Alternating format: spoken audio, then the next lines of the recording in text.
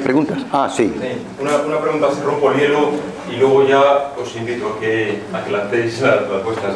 Rodrigo, bueno, primero enhorabuena por tu labor de síntesis y, de exposición. Muchas gracias.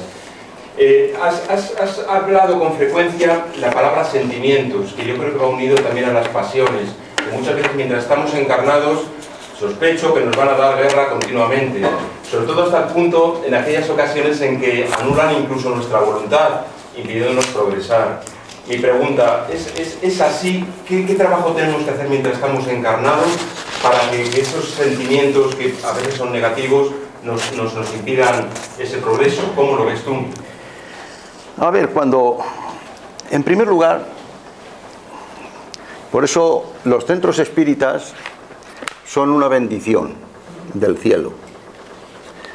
Lo primero es ser conscientes de, nuestras, de nuestros sentimientos y de nuestros malos actos o buenos actos. Ser conscientes. Y para ser conscientes, efectivamente, hay que tener conocimientos. Y estos conocimientos se, se dicen en el centro espírita. O sea,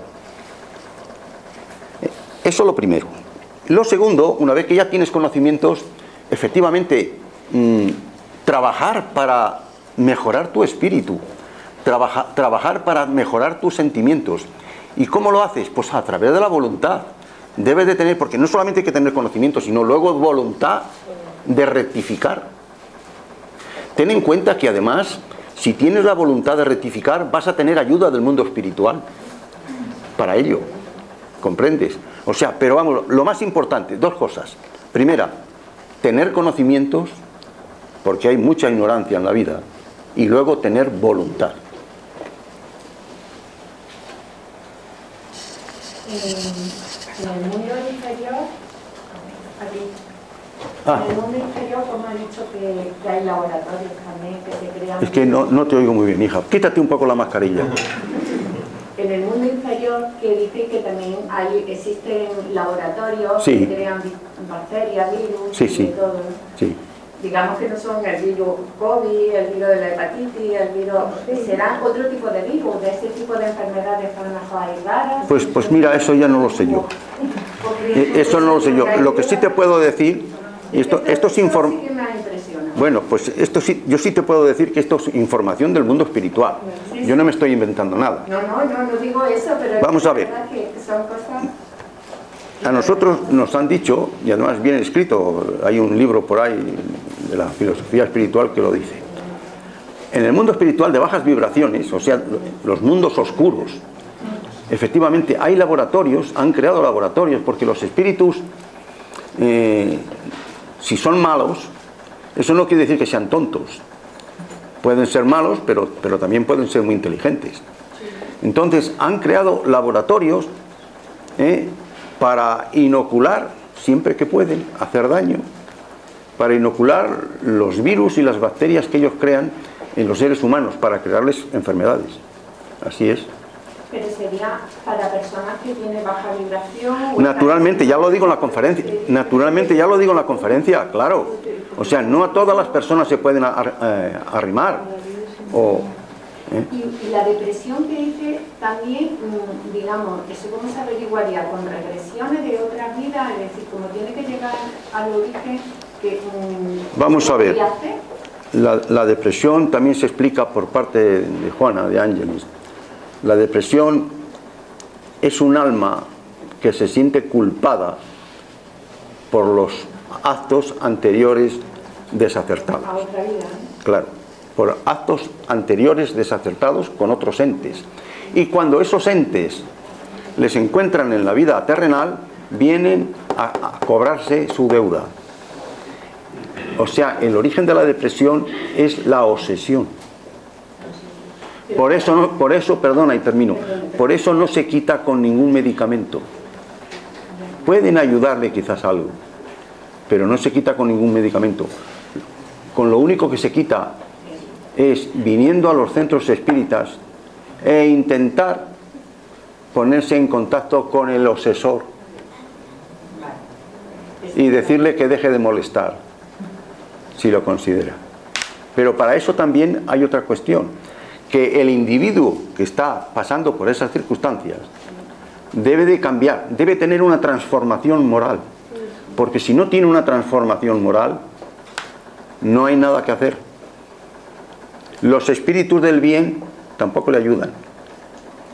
O sea, tiene que haber, tiene que haber una transformación moral, o sea, un arrepentimiento. Y un arrepentimiento continuado, no de momento, claro. Muchas gracias. ¿Puedo decir una cosa, Rodrigo? Sí, claro. Quería darle las gracias porque me ha gustado mucho todo lo que ha explicado. Eh, el tema de la depresión, yo soy funcionario, llevo muchos años trabajando, ya casi para jubilarme. Quítate la mascarilla porque no... Eh, cuando yo empecé a trabajar en el Ministerio de Fomento, estuve en un chiscón, lo que es, yo era telefonista, y yo caía en depresión por la baja vibración de los compañeros. Es decir, una ordenanza, dos botones, el conductor del director y a mí me tiraron para arriba la acupuntura. Porque a mí, yo era una niña que había estudiado en el instituto, la típica que deja apuntes, súper enrollada. A mí se me vino el mundo abajo y sentí una depresión en esa época no había muchos antidepresivos y por una tía pues nos llevamos a unos médicos de acupuntura bueno. y poco a poco yo fui reviviendo, pero ojo, ¿cómo pude elevar la vibración? Me puse a estudiar otra vez y al estudiar apuntes, la clase, es decir, hay una parte, no sé, es que ya eran malos espíritus las personas vivas que estaban ahí, Rodrigo. ¿Eh? Entonces a lo mejor en el mundo etérico había por ahí todo tipo de... Pero si no tuvieron nada a ver contigo, a ti no te pasaría esto. En primer lugar... Si no tuviera nada que ver contigo, a ti no te, para, no te pasaría esto, porque Dios es justo, no permite que otras personas, tu, tu vida no está en manos de otras personas. Claro. Tú con los espíritus que estaban allí, ¿sabes? No sabía protegerme, no sabía rezar, Claro, entonces ahí está, no tiene que ver con los, con los demás. No te preocupes que Rodrigo te lo va a explicar. Espera un momento. Escuchar tu respuesta. Rodrigo, Espera, ¿cómo- sí. Rodrigo, explícale cómo se puede proteger a una persona de Bueno, todo vamos a ver. En primer lugar, en primer lugar, usted me dice que tuvo una depresión. Sí.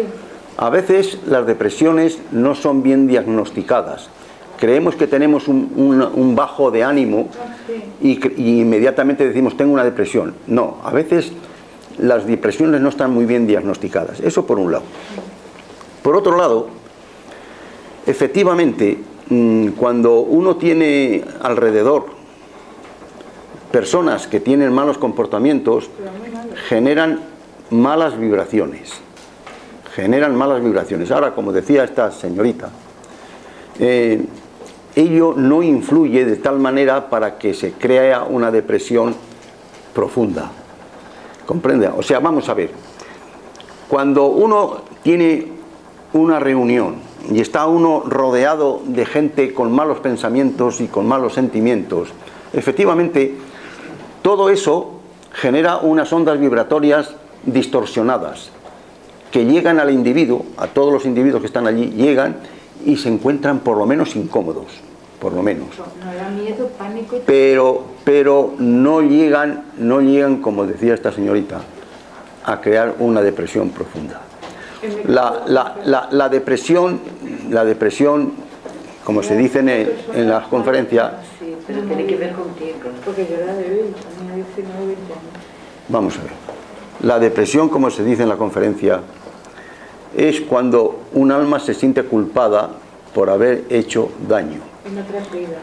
en otras vidas o en esta incluso.